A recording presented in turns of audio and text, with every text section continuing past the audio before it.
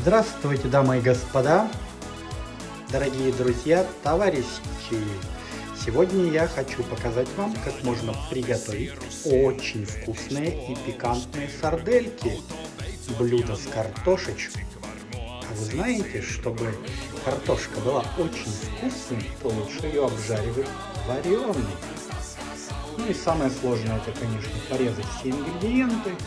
У нас здесь лук, морковка на терке натертая, чесночок вот такими вот дольками, а также сыр твердых пород, петрушечка, соль, перец и пряные специи.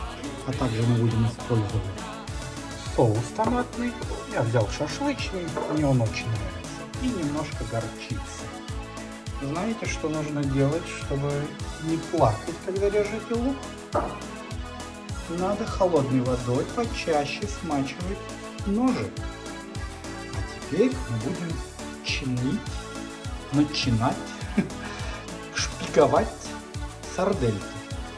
Мы каждую сарделечку надрежем, из нее поместим чеснок и сыр, а также маленькую долечку томата.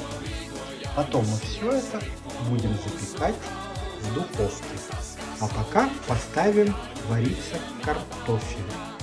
После чего будем обжаривать на сковородке лук и морковь. Все очень просто. Делается очень быстро. Вот варится наша картошечка. И варится минут 25, может быть 30. Потом ей нужно дать немножко остыть, чтобы из нее выпарилась влага.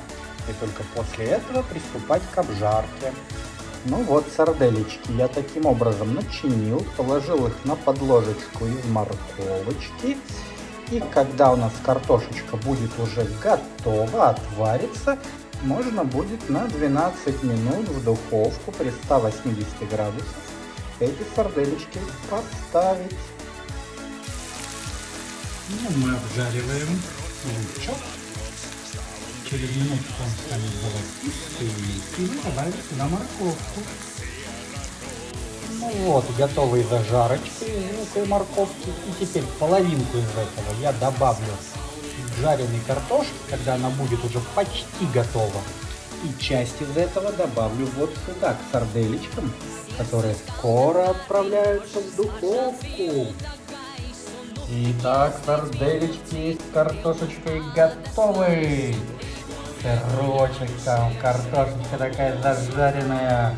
Ну, тут горчичку для вкуса. Все добавили. Потрясающе. Всем приятного аппетита!